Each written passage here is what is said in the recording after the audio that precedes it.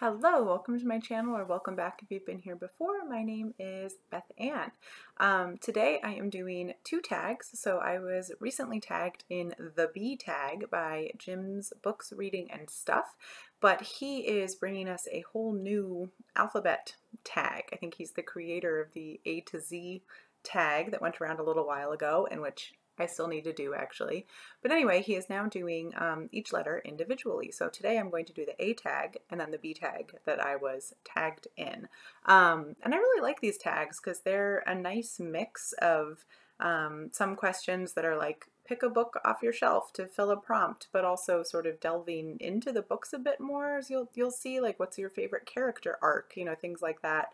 Um, and then also a couple that are sort of get to know your booktuber better. Um, so I really like uh, the mix of prompts in these. So without further ado, the prompts will be down below. I'll try to put timestamps down there as well. Um, so first, the A tag. Um, so prompt number one, A is for America. What do you consider the great American novel?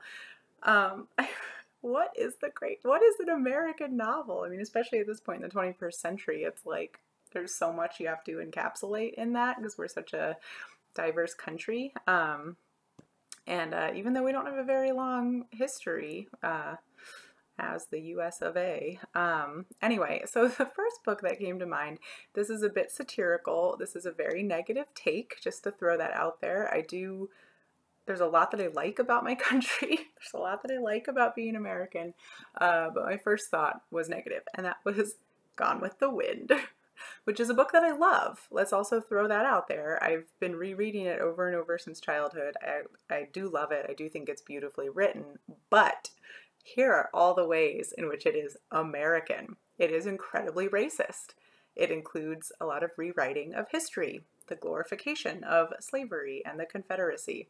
Uh, it sort of idolizes selfishness. Um, it idolizes capitalism. Um, there's a romanticism of rural and agricultural communities, which, like, nothing against those communities, but we do have a problem uh, a little bit with sort of the romanticization of um, parts of that.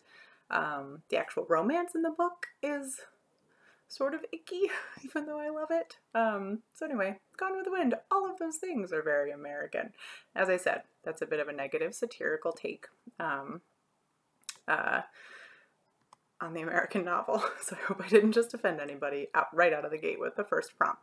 Okay, Number two, A is for arc. Which character in literature has the most interesting character arc? So I have no idea about the most interesting, but somebody immediately came to mind from a book I recently finished, which was The Count of Monte Cristo.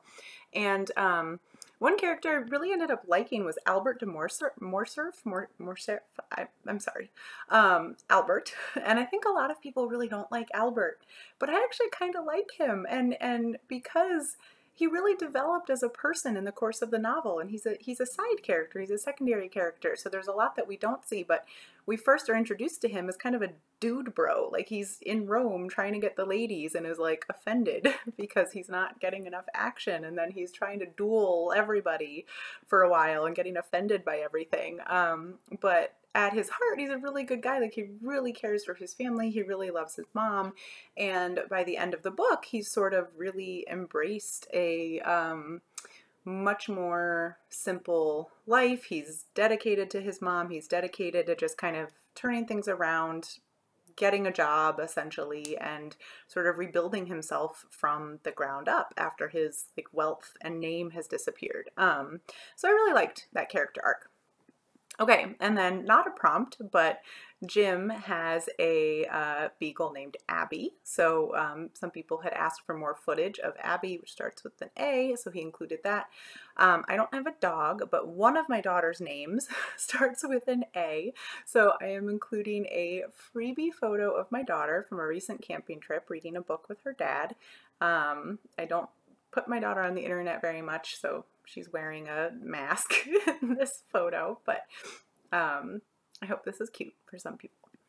Prompt number three, A is for Australia. What was the last book you read by an Australian author? That would be Cocaine Blues by Kerry Greenwood, the first book in the Phryne Fisher series. I have read, or I have watched and love the TV series, so that was my first um, attempt at reading the books, and I really loved it. It was very enjoyable. Um, prompt number four A is for Austen. What do you plan to read for Jane Austen July? I am planning to read Mansfield Mansfield Park, which is the choice for the Down Memory Jane reading group, which is reading all six of Jane Austen's main novels this year and uh, every other month. Um, pairing a modern retelling of the Jane Austen novel in the month following the Jane Austen novel. So um, July is Mansfield Park, so I'll be reading that. Number five, A is for automobile. What is your favorite literary automobile? I don't really pay attention to literary automobiles. Um, so the one that came to mind was Mr. Weasley's car from Harry Potter uh, because it is anthropomorphized and has special powers due to magic. Um, so going back to my childhood for that one. Um, do not like J.K. Rowling's stances recently. I'm saying I'm going to say that every time I mention her. Um, okay, number six, A is for anonymous. What is your favorite book or poem published anonymously? So I'm not sure that I've ever read a book or poem published anonymously, at least according to Goodreads, I haven't. Um, so I was not able to come up with something for this. Prompt number seven, A is for autobiography. What was the last autobiography you read? That would be The Home Place Memoirs of a Colored Man's Love Affair with Nature by J. Drew Lanham, which I read in February as part of the Book Naturalists Book Club, organized by Heidi over at My Reading Life and Doris at Aldi Books. Um, and that was fantastic. So, Drew Lanham is um, an academic, a scientific researcher. He's a professor at Clemson University. He is a world renowned birder and ornithologist, and this was uh, his memoir of um, growing up and his connection to land and nature and how that's shaped his career. And it was a lovely read. Okay, prompt number eight A is for audiobooks. Do you consider listening to an audiobook as reading? Absolutely, 100%. no discussion needed. Um, okay, and that's it for the A tag. So moving on to the B tag. Jim, if you're if you're watching this, I'm very disappointed because you didn't include bees or butterflies or birds even, which I need to mention because I'm married to an ornithologist, but we all know bees and butterflies are cooler than birds on my booktube channel. Cool. Um, so I'm going to put up a couple pictures. So here is a gorgeous butterfly um, from Montana, and um, here's a bumblebee. The paint markings on the bumblebee are, I was doing, uh, I was trying out a research project um, that I didn't end up following through on, um, but it was very fun to paint little dots on bumblebees for a week or so. Um, and then another uh, gratuitous extra bee here. Okay, now that I've gotten that out of my system, we can go with the prompts. So number one, B is for Bildungsroman. Do you have a favorite Bildungsroman or coming of age story? So of course there are millions of options for this, um, but the ones that I've been enjoying recently are Seanan McGuire's Wayward Children series, which is a young adult series. The first book in it is Every Heart a Doorway, and it is about children that for whatever reason um, feel like misfits in their lives and are often not uh, supported as well as they could be by their families and communities. Um, and uh, it's sort of a it's a portal world fantasy. Um, so they all actually end up going into other fantasy worlds where they have another identity that fits them uh, the best, sort of their true identity, and so they sort of come into themselves in these portal worlds. They, they learn about themselves, they usually learn about friendship and teamwork and all kinds of things, um, gain self confidence and tools, um, and then are eventually, because it's a portal, portal works both, both ways, are returned to um, the real world, sort of with everything that they've gained. Um, so I really love that series. Um, okay, prompt 2B is for beach. Be careful how you pronounce it. What would you recommend? Oh, Jim's words. What would you recommend for a beach read? Um, so for me, it would be really just anything romance. So um, on the one hand, I can like something just like totally uh, lighthearted and enjoyable, which most romance is for me. Um, or on the other hand, something that's really action packed, where it's like moving quickly. Um, so yeah, I sort of want things that move when I when I'm sitting on a beach, like an action packed thriller or a mystery or something like that. Um, and then Jim has another prompt that's not a prompt. Uh, B is for Beagle, um, a chance to see his Beagle Abby, which I guess actually I don't have an equivalent for. Not this time. Okay, prompt three B is for best. What is the best book you have read this year so far? That hurts my heart. so um, definitely some contenders are The Count of Monte Cristo, which I did really, really enjoy, although I also had some rants about it. And um, I did post a video about that that um, you can go check out if you're interested. Um, also a YA uh, sort of romance novel, The Stars and the Blackness Between Them um, by Junauda Petrus I really enjoyed. Um, it's a very queer, very spiritual sort of coming of age romance story, um, very much older teenage, so I think um, other adults like me that appreciate YA would definitely identify with it, so that was really enjoyable. Um, Drew Lanham's book that I mentioned in the A tag. That was a really excellent memoir, I felt like. Um, so that is also sort of in the running for my best books. Um, so they're just some options off the top of my head. Um, prompt number four B is for bookshop or bookstore. Do you have a favorite bookstore? Um, yeah, that's I've never really lived in one place long enough as an adult to really develop a favorite bookstore. So I have many that I've been to, but and, and enjoyed. Um, the one that sort of I feel an emotional connection to is called Massolit, and it's a bookstore in Krakow, Poland. Um, and I did study abroad there, so I lived in Krakow for six months. And um, my fellow study abroad mates and I, you know, it's like you're living in another country for six months. You're not going to spend any time in your dorm room. And so whenever we had time between classes, which we skipped some classes because we were in another country.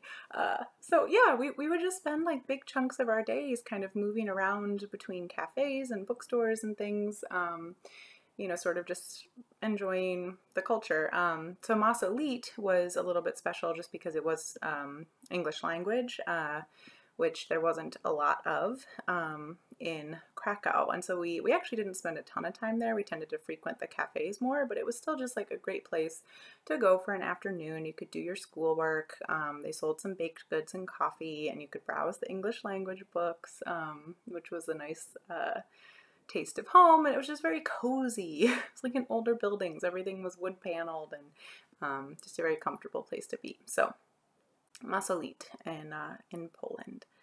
Um, okay, prompt number five. B is for banned books. Is there any book you think should be banned? And um, Jim linked to a YouTube video from Ash at Bookish Realm, um, who posted a video about the most challenged and banned books of the past decade on the American Library Association banned and canceled list. Um, so if you're really interested in sort of the more like formal take on that, you can go look at that. Um, I don't really think books uh, should be banned. Um, I think books are, you know, sort of here to challenge us. Um, I think they're a very useful mode of communication. I think the more that you tell people that they shouldn't speak and uh, take away their ways of speaking, the more entrenched they can be, thinking about sort of the negative side of things and then the positive side of things of, um, you know, we all have sort of our inner things going on. It can be really hard to talk about or to find people with similar experiences and books can really open that. So in particular, I'm thinking about a lot of queer lit that's been banned. Um, and the harm that I think that's done to especially kids and youth, but really to everybody. Um, so, no, I don't think books should be banned. I wish that as a society we were more literate and would talk about books more and really sort of normalize that and make that.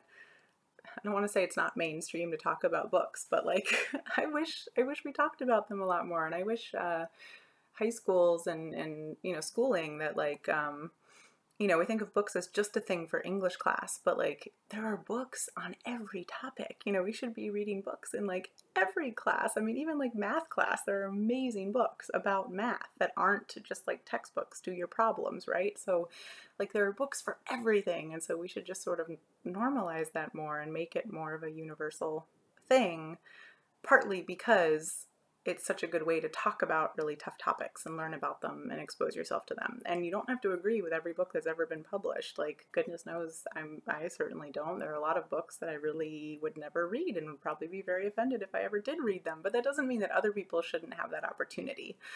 Whether those horrible books reflect what they're thinking, which I hope not.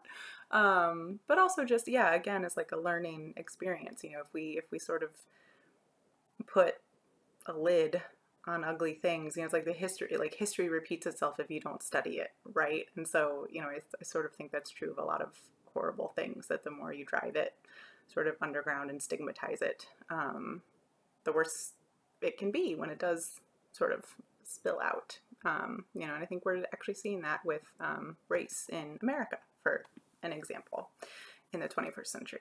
Um, anyway, bit of babbling there.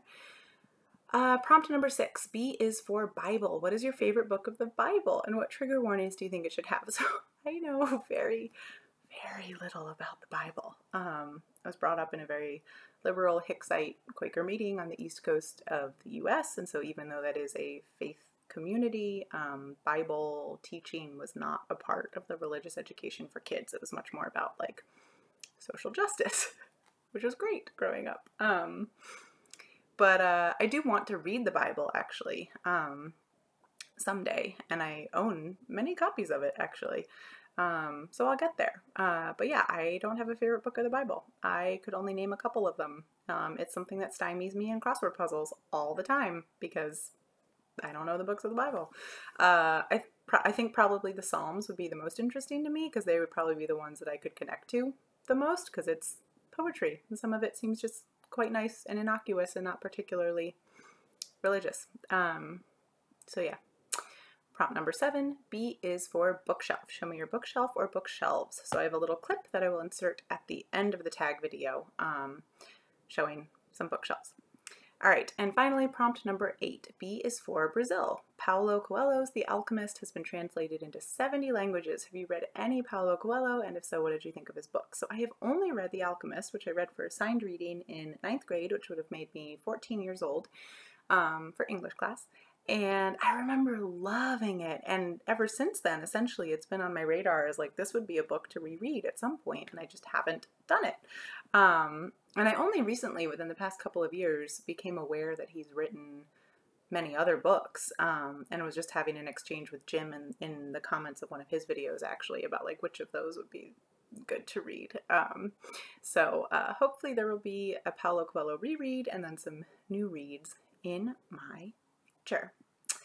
Um, okay, so then I need to tag people. So I am going to tag Liz at for booking out loud. Um, if we ignore the preposition for, her channel starts with B. So Liz, I'm tagging you in the B tag. And then I also want to tag a new channel, Ryan, at Book Time with Ryan.